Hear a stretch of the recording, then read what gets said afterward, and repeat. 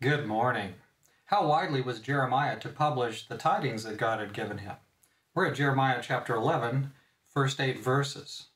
The word that came to Jeremiah from the Lord, saying, Hear the words of this covenant, and speak to the men of Judah and to the inhabitants of Jerusalem, and say to them, Thus says the Lord God of Israel Cursed is the man who does not obey the words of this covenant which I commanded your fathers in the day I brought them out of the land of Egypt, from the iron furnace, saying, Obey my voice and do according to all that I command you, so shall you be my people, and I will be your God. That I may establish the oath which I have sworn to your fathers, to give them a land flowing with milk and honey, as it is this day. And I answered and said, So be it, Lord.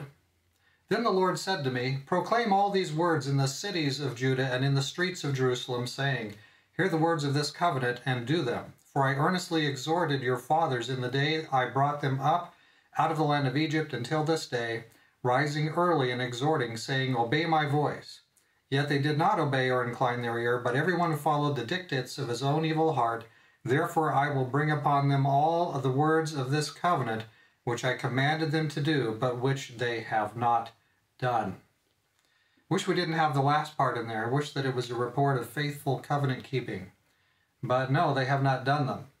So God widens Jeremiah's mission. He's not only to do the warnings as he's been doing in the gates of Jerusalem, but now he's to uh, give those warnings across the cities of Judah as well. So he's going to go from city to city and proclaim these warnings. Now, there's no new light here. This is all truth that God has given to his people before, and they've slipped away from it. They've backslidden and gone away from it. There's a covenant complete with blessings and cursings. You can read about some of that in Deuteronomy 27 and 28, those two chapters. God received them as his people, and they promised to obey him. But as yet, there's been little obedience, and the people keep slipping away. They've become, in their own perception, more advanced. They feel like they've passed on from infancy to some kind of adulthood. And now they think, well, we'll just obey him kind of in a nuanced way. And even that, if they do that, they'll do it sort of not as uh, a love response, but as a concession. So there's a problem of spirit here.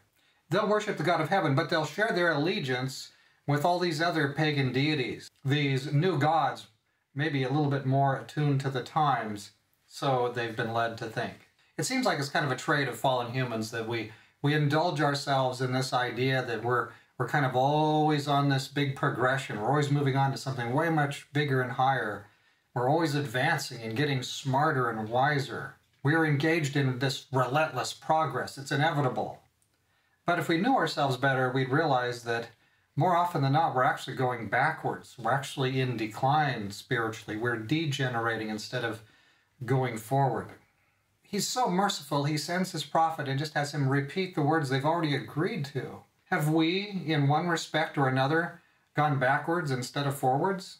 And this question is there a point where you or I have backslidden that today we can turn back to Jesus and go closer to him on? Something to think on today. Let's pray together. Dear Father in heaven, you sent your servant Jeremiah the prophet out into the cities of Judah to give this message. It wasn't heard in the big city in Jerusalem. It wasn't heard in the capital or in the place where the temple was. It was very poorly heard there. But the message was still for all the people, and so you sent your servant to deliver that message. Lord, help us to be faithful. Help us to hear your message at your mouth. Help us to respond to it and be obedient. Help us to understand that obedience is not an evil thing or a bad thing. Obedience, in the case here for the kingdom of Judah, was part of the covenant, and they're not doing it. Please, Lord, help us to be repentant. Help us to be turning closer to you.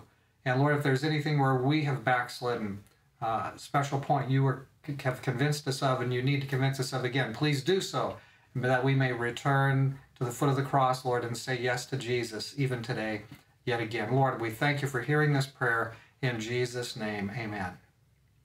So Jeremiah was to faithfully deliver that warning and urge the people to repent all across the kingdoms of Judah before the judgment came, before the judgment was executed upon them and the nation came in from the north to attack. Have a wonderful day serving the Lord Jesus.